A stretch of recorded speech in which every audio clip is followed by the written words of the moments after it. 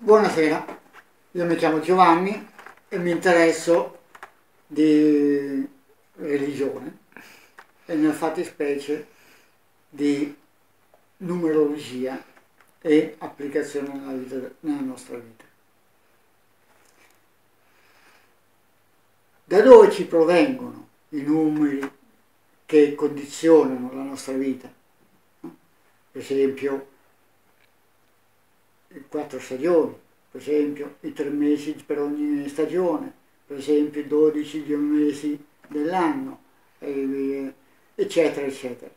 Ci vengono da quello che è un progetto di creazione. Questo progetto di creazione chiaramente ha origine in Dio. Perché è importante?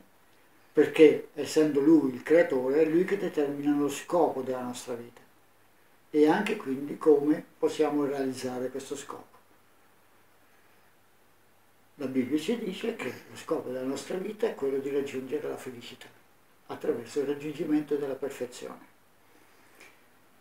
Come possiamo realizzarlo? Attraverso un processo. In questo processo troviamo che il nostro percorso è scandito da numeri, come appunto abbiamo detto il 3, il 4, il 7 e multipli.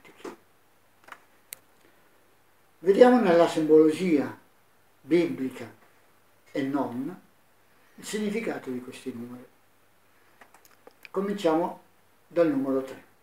Il numero 3 nella religione, nella fattispecie cattolica, rappresenta la perfezione, in quanto rappresenta Dio. Dio è rappresentato come una Trinità, Padre, Figlio Spirito Santo.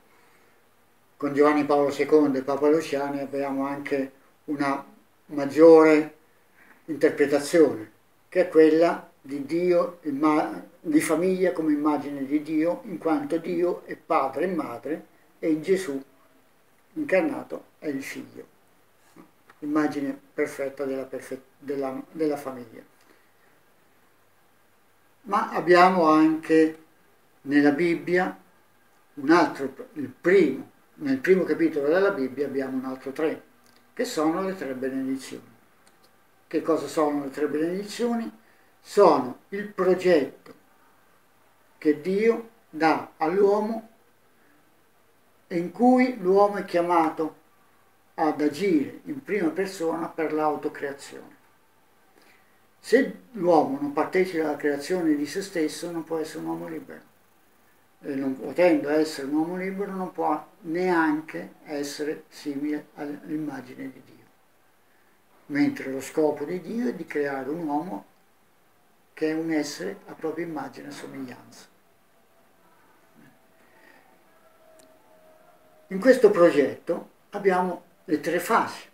Crescete, moltiplicatevi e dominate la terra.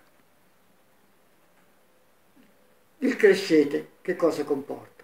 Comporta l'unità dell'individuo nei, nei suoi tre aspetti fondamentali, che sono l'intelligenza, la volontà e il sentimento. E anche qui ritroviamo il numero 3.